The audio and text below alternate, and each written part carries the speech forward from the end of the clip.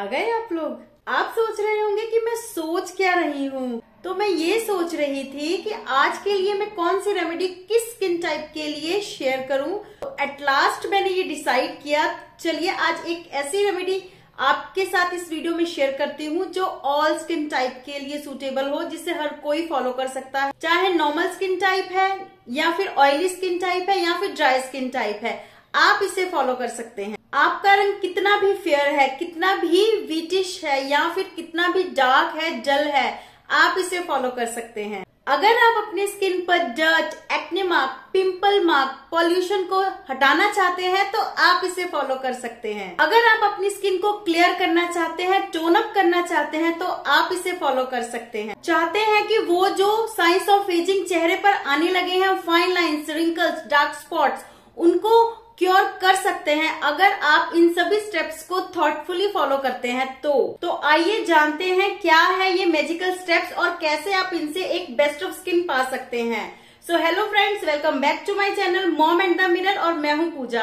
मैं स्वागत करती हूँ आपका अपने यूट्यूब चैनल पर। तो सबसे पहले बताइए, आप सब कैसे हैं? मैं उम्मीद करती हूँ आप सब बहुत ज़्यादा अच्छे होंगे। अगर आप इस चैनल पर पहली बार आए हैं तो बिना सब्सक्राइब किए जाएँगे तो आपका ही लॉस है। देख लीजिएगा भाई। क्योंकि यहाँ पर मैं बहुत ही ज़्यादा बेहतरीन और इजी रेमेडीज शेयर करती रहती हूँ, जिनको यूज़ करके मेरा ये यूट्यूब परिवार बहुत ज़्यादा खुश है। आज की वीडियो में मैं आपके साथ शेयर करने वाली हूँ बहुत ही सिंपल से steps with very simple ingredients जिससे कि आप पा सकते हैं एक क्लीन एंड क्लियर स्किन जी हाँ ये जितने सिंपल है, उतने ही पावरफुल इंग्रेडिएंट है जो कि मैजिकली वर्क करेंगे आपकी स्किन पर। तो चलिए देख लेते हैं कि मैंने क्या किया है। Without any more delay let's get started तो फ़र्स्ट स्टेप फेस क्लिनजिंग के लिए हम तैयार करेंगे अपना डी फेस क्लिनजर, जिसके लिए आधा कप दूध हमें चाहिए। फिर हम इसमें ऐड करेंगे एक चम्मच भर के ग्लिसरीन, जो कि हमारे चेहरे को हाइड्रेशन देता है, उसी के साथ ब्लैकनेस को भी दूर करता है। फिर हाफ़ स्पून मैंने इसमें वाइल्ड टर्मरिक यूज़ किया है। किचन वाली हल्दी का यूज़ ना करे तो अच्छा रहेगा, क्योंकि वो पीलापन छोड़ता है हमारे चेहरे पर। इस मिक्सचर को आप थोड़ा सा ज़्यादा ही बनाए, क्योंकि तीनों स्टेप्स में हमें इस मिक्सचर की ज़रूरत पड़ने वाली है। इस मिक्सचर से अब आप अपनी स्किन को वाइप ऑफ़ करें। ये आपकी स्किन की डर्ट मेल इम्प्योरिटीज को निकाल देगी प्लस स्किन को ब्राइटन अप भी करती है। डलनेस को रिमूव करती है। अगर रेगुलर बेसिस पर आप यूज़ करते हैं तो आपके जो डार्क स्पॉट्स भी हैं, वो भी लाइटन अप होंगे। एक बार में तो नहीं होगी, पर हाँ आपकी स्किन हल्की सी लाइटन अप ज़रूर होगी क्लियर ज़रूर दिखेगी एक बार में ही।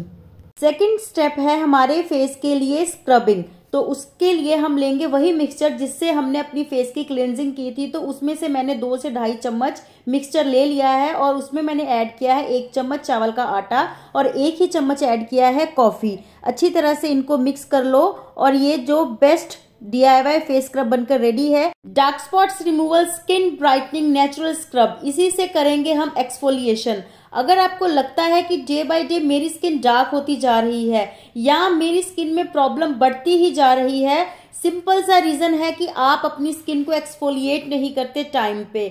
इसी से जो स्किन पर डार्कनेस या फिर पिगमेंटेशन है उन्हें और भी ज़्यादा वर्स्ट दिखाते हैं। ये उनको रिमूव करती है। तो जब डेड स्किन सेल्स रिमूव हो जाते हैं तो ऑटोमेटिकली आपकी skin bright radiant glowing smooth भी दिखती है।